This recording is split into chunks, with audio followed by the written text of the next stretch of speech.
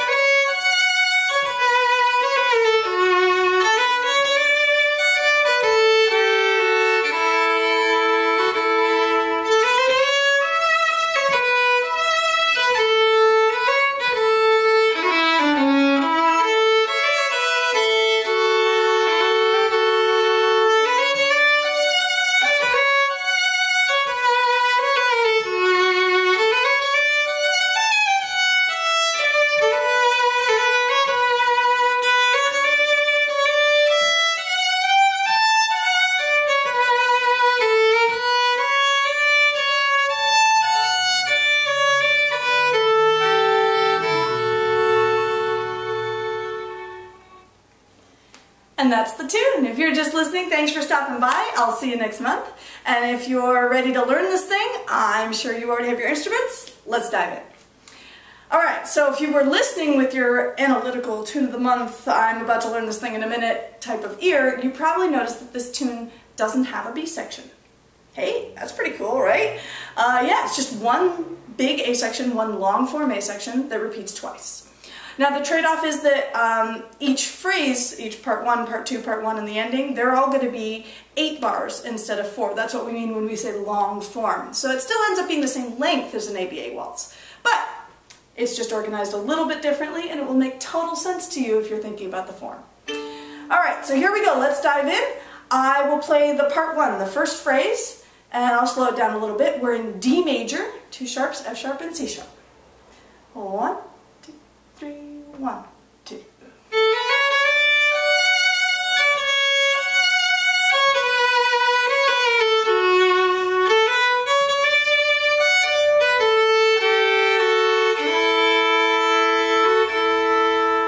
That's the whole first phrase. I'll do it again.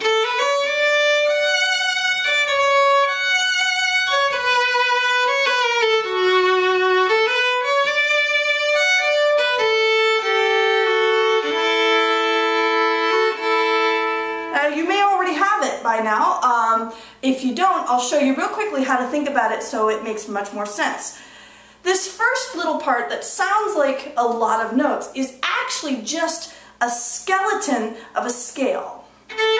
D, blah, blah, C sharp, blah, blah, B, da, da, da, da. Ending down on the F sharp, that's the only part that's not a scale. So the melody really goes...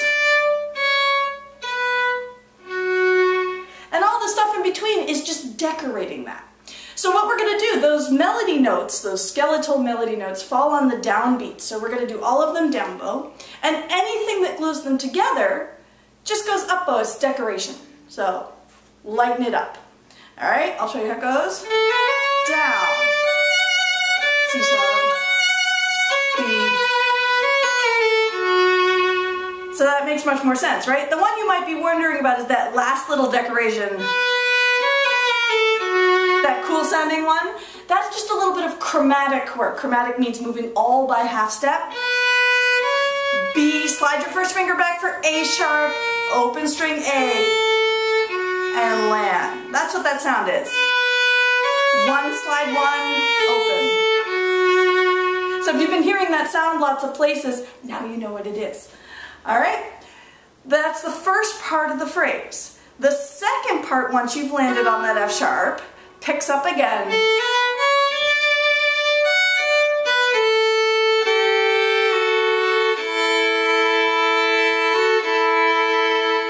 Yeah, so there's just a little melody there. The cuckoo melody, you call it. It's all your odd fingers team. Three, one. Now, this part that sounds so fancy with the double stops, if I take the double stop out, it just sounds down the scale. The drone of the open string.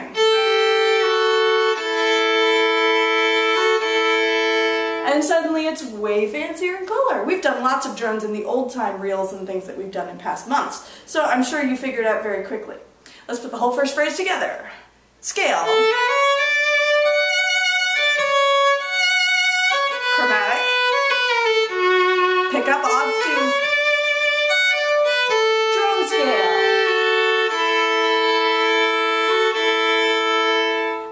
Whole first phrase. If you need to practice any of that again, you can just rewind the video. But let's go on to the second phrase. I'll do it slowly. See if you start hearing familiar things. They're already coming back.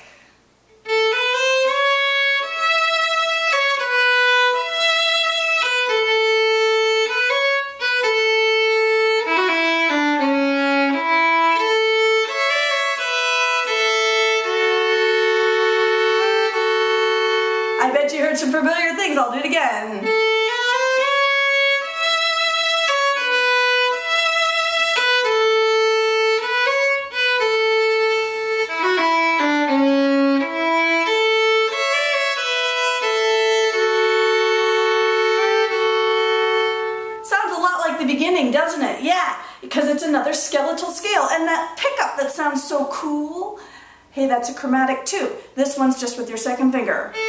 One, low two, high two. Right, so the chromatic slide is in your second finger. Low two, high two. Now this skeletal scale goes C sharp, B,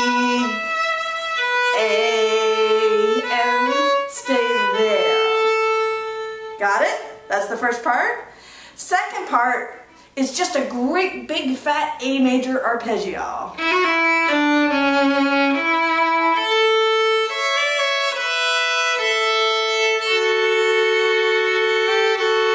Yeah, did you catch that I added the drone at the top when I finished the arpeggio? So look, arpeggio. Right here, add the drone, triple. Scale. And the top is decorated. And land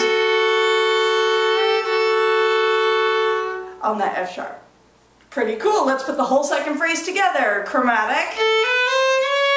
Skeletal scale.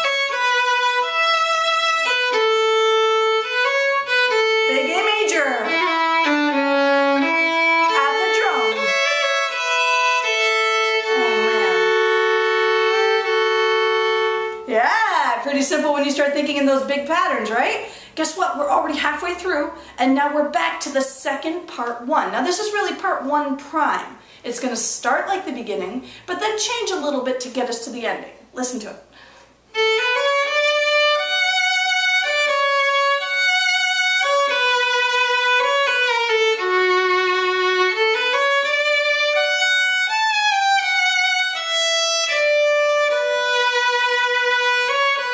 My favorite part there. Yeah, so you probably felt very like, oh, awesome when you heard that first part. It is an exact repeat of the first skeleton or decorated scale. Sorry.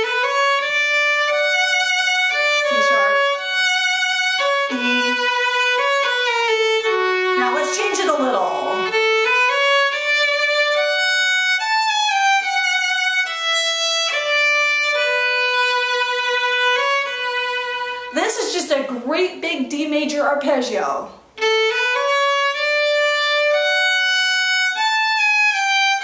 But it has that little chromatic at the top. I hope you heard it because it's a very cool sound and now you know what it is. This chromatic is also through the second finger, but it's descending. So I'm going to slide high two, low two to my one.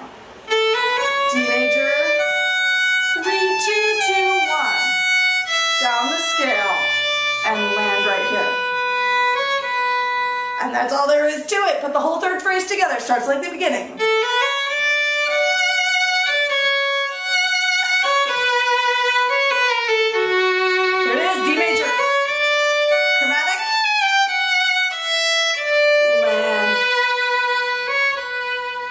And there it is. If you need that phrase again for practice, go ahead and rewind. Here's the last phrase, the ending. We've just landed.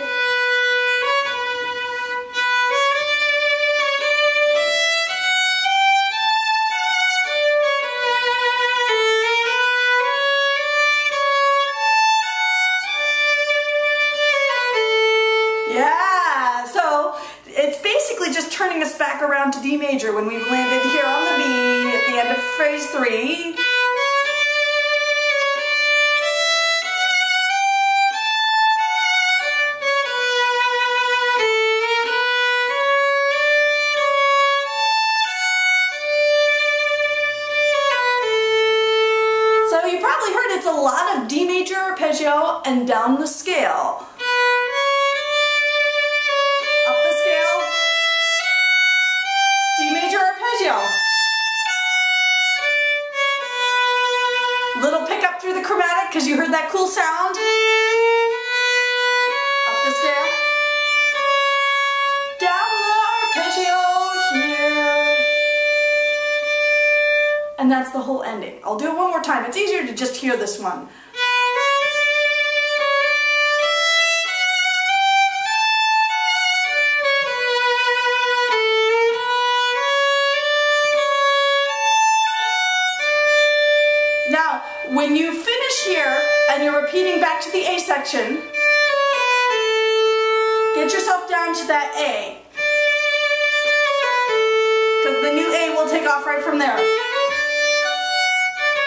Right? But the last time, stay on the D.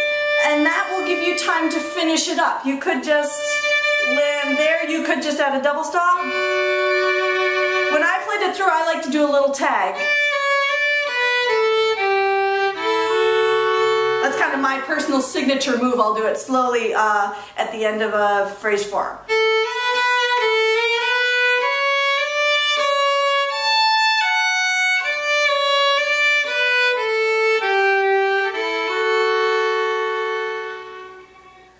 And that's the whole tune. Now, if you want to fancy it up, the best way to fancy up a waltz is the same way we've discussed in past Tune of the Month videos. Anytime you have a long note defined as a dotted quarter or longer, you can ornament using a grace note, a hammer-on, a grace, single grace from below, using little rolls, using any of the ornaments that we've done in past Tune of the Month videos. A waltz gives you lots of time to goof around um, in the melody, so you can just put it right in. Now I will show you one thing that's especially cool to do in this waltz, and that is at the end of every phrase. You notice we always have that super long note, right? Like at the beginning. Essentially it's two bars sitting on the, the same note. So what you can actually do is improvise a little fill, right? So the way I showed you to end, I'm going to give an example here with phrase one. Uh,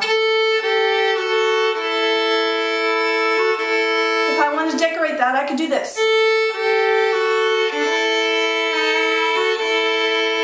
I'm using the drone and the chromatic. Did you see how I slid my first finger back there? And I do it just very gently, and I also have the drone going so it decorates a little smoother. I'll do the first phrase with that decorated ending.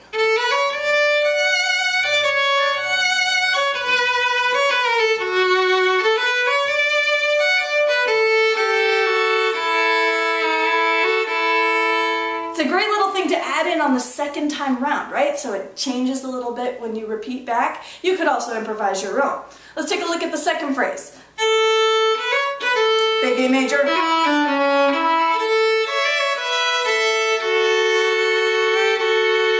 That's how we do it normally. Now what about the same thing?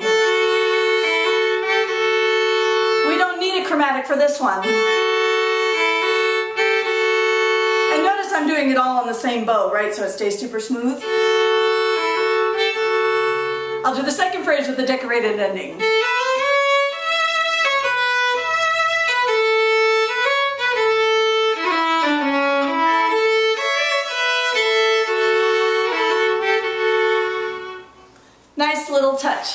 Now the third phrase, that one that ends on the, the B minor chord that's so beautiful, personally when I play this waltz, I don't decorate that one the second time around because it's so pure and so beautiful. I feel like keeping it simple is the way to go. But your taste may not agree with mine. You could improvise anything you like over there. And then the third, oh, sorry, the fourth phrase, that's already decorated by your ending.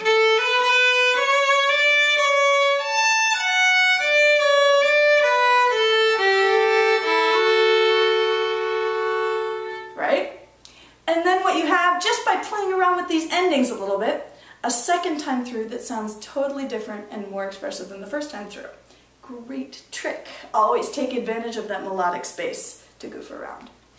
Alright guys, that's the Gonzallas Waltz. There's some cool ideas in there hopefully for you to play with, the little chromatic, the idea of listening for skeletal melodies that will really help you in all your waltz playing.